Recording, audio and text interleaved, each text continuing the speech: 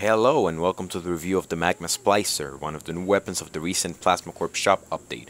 I'll be reviewing as many items as I can, so remember to turn on your notifications so you can instantly be notified when I review a new item. For this item, I'll be reviewing the statistics, usefulness, affordability, and at the end I will provide my personal opinion on whether or not you should get this item. Beginning with the damage, the Magma Splicer deals 5 damage, which translates into 6 damage when the weapon is in perfect shape.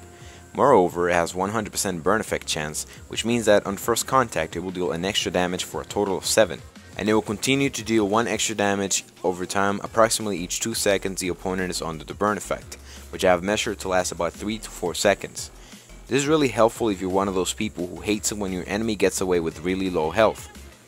Moving on to the fire rate, it shoots decently fast, though not as fast as a minigun to use as an example. The gun has a decent freeze for the fire rate of the weapon, which I didn't find to be a problem.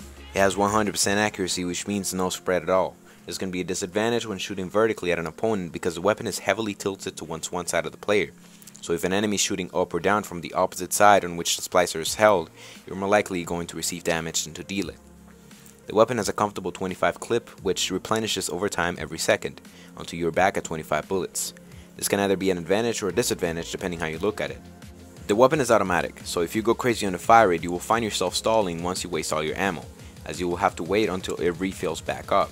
That is if you don't know the trick to bypass the recharge. You can essentially get all the way back up to 25 bullets without having to wait for the refill.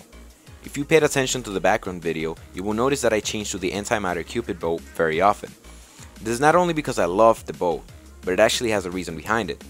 If you switch to a weapon which has a clip greater or equal to the splicer and then change back, your clip will magically be brought back to 25.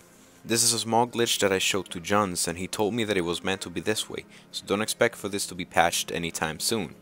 Splicer can currently be used at SPAR, PK arenas, and bases, but not at survival or events like CTF. Splicer only costs 4000 plasma coins, and though that sounds like a lot, it is one of the cheapest guns you can currently buy. My personal opinion on this item is that it is good and fun to use. However, I recently got the antimatter burner, and that pretty much renders the splicer useless, at least to me. This being said, I recommend this item if you just want a decent item that is reliable to get some kills with.